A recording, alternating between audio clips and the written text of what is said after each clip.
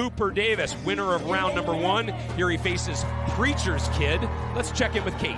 Davis's home in Buna, Texas was in the projected path of Hurricane Laura, so he evacuated to Dallas on Monday with his wife Kate and son Mac. He told me, thankfully, our home was not hit, so we made the most of our time in Dallas. We took back to the aquarium, the zoo, museums, spent extra time with the family, even found time to get on some practice bulls and make it to therapy.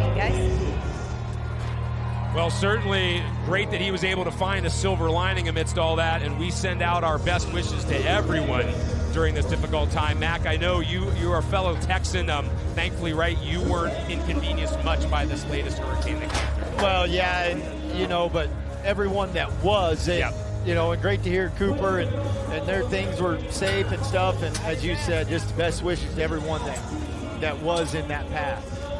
Focusing back on Davis's task at hand, Preacher's Kid. Well, you can't argue with his record, a perfect 20 and 0, never been ridden. This is a really intriguing matchup right here uh, because when Davis is on his game, I'm not ever taking a bull over him. Um, and this is a really, really tough bull. So this this one's a coin flip, man. I really feel like if Davis gets around the corner, this bull should go left. I give the advantage to Davis. Now, Preacher's Kid, we have seen him in the past kind of throw some tricks out there, like maybe start left, and then if that doesn't work, take off, and you never know what's going to happen from there. Chances are, if he makes the eight, we are going to see a lead change just by virtue of what this bull is underneath him.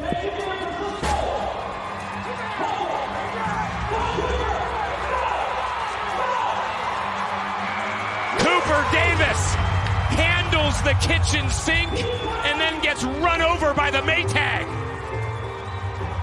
Davis able to hopefully stand and receive the cheers from this crowd. Doing his home state proud. We're going to have a new leader. A lot of guts from Cooper Davis right there. Some hop and skip out of Preacher's Kid. One direction didn't work. He tries it again. This is a difference between a score in what you've seen out of Montana earlier. Davis did not give up on that ride, even though the bull was kind of in control. 89 and a half points. The 2016 PBR World Champ sporting a new stash. And it's good luck. He's in the lead.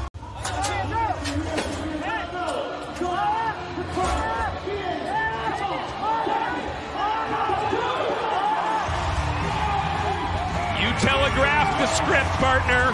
Bulls cannot go to the left with Joao on their back. Will it be enough to rival for that top spot? Whether or not it is, Joao knows 89 and a half. He's going to tie Cooper for number one. Well, and that was that was just an outstanding job by Joao taking a pretty darn tough bull and making him look really easy as we take a look at the rider over the bull score right there. Three and a half points. That's a two and a half points. My math is pretty sharp. It's okay. We'll work on it during the next break.